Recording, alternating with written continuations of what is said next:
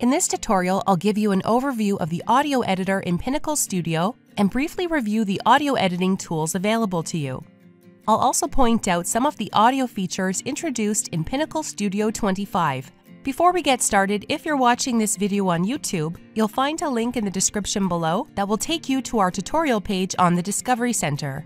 Here you can download a written copy of this tutorial to follow along. First of all, you're going to need to have an audio clip or a video clip with audio on one of the AV tracks on your timeline in order to access the audio editor. Then select the track that contains the audio or video clip that you want to make audio adjustments to.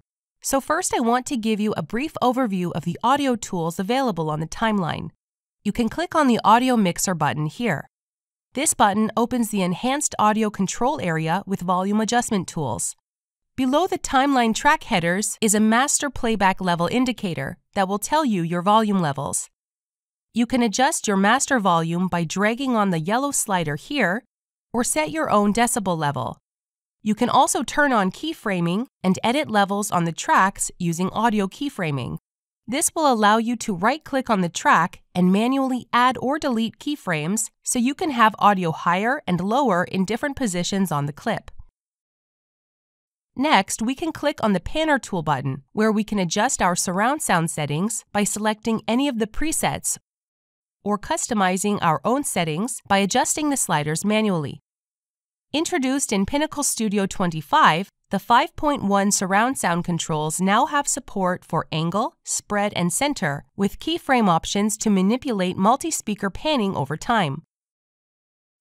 Now I'm going to click off the Audio Mixer button and click on the VoiceOver tool button. Here you can record a voiceover using your microphone by pressing the Record button, and then, once you finish recording, your voiceover will be automatically added to the voiceover track on the timeline. Next, you can click on the Soundstage button to access a collection of Scorefitter music that you can use in your projects. And we can also click on the Audio Ducking button, which is a technique that allows a narrator's voice to be heard more clearly above other audio, like background music in the project. Now I'm going to show you how to access the audio part of the editor panel. Again, make sure you select the audio or video clip you want to make edits to. Then click on Editor and make sure to click on the Music Notes icon to enter the audio editing mode if you are editing audio in a video clip. The first option we have is Channel Mixer. The Channel Mixer allows you to make level adjustments and redirect audio signals from their original channel assignments to new ones. You can click on the slider under the level meters to set the playback level of the clip. Under the stereo drop-down list, you can select any desired option for redirecting audio signals. We also have the Normalize button here, which is really helpful to optimize the audio volume of the clip. Next, let's click on Corrections. Here we can make all sorts of different corrections to improve our audio quality. First, we have Equalize. An equalizer is basically a tool that lets you adjust the volume of the individual frequencies within an audio source. You can choose from a number of select presets from the drop-down list, or choose to manually adjust the dials to set gain, frequency, and high cut and low cut settings. Next, we have adjustments.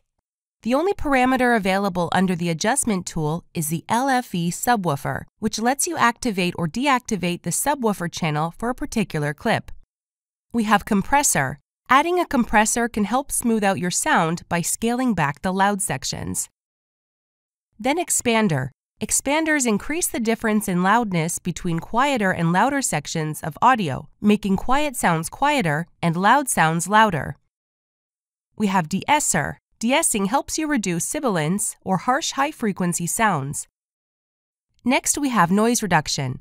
Using the noise reduction filter can help you reduce or eliminate background noise to give you cleaner and clearer audio. Introduced in Pinnacle Studio 25, the noise reduction section now allows you to create a noise profile. This allows you to make a selection of audio as a sample of the background noise you want to eliminate throughout the entire clip.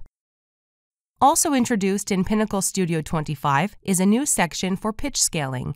Pitch scaling lets you change the pitch of audio without affecting the speed, and therefore not impacting the duration of the clip. We can also apply audio effects by clicking on the Effects section. and here we have a number of audio effects we can apply to our audio or video file.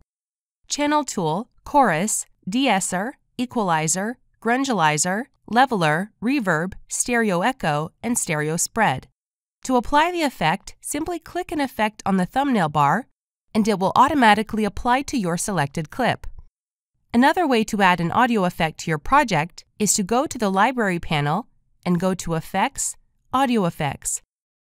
Then drag the effect from the library onto your audio or video clip. You can make custom edits to any of the default settings by right-clicking on your clip on the timeline and going to Effect, Edit, and selecting the applied effect. From here, make any adjustments you wish or select a different preset. Finally, we have Time Remapping. Time remapping allows you to adjust the speed for your video clips. You can apply a slow motion or fast motion effect to the entire clip. Or you can use keyframes to speed up some scenes in a clip while slowing down other scenes.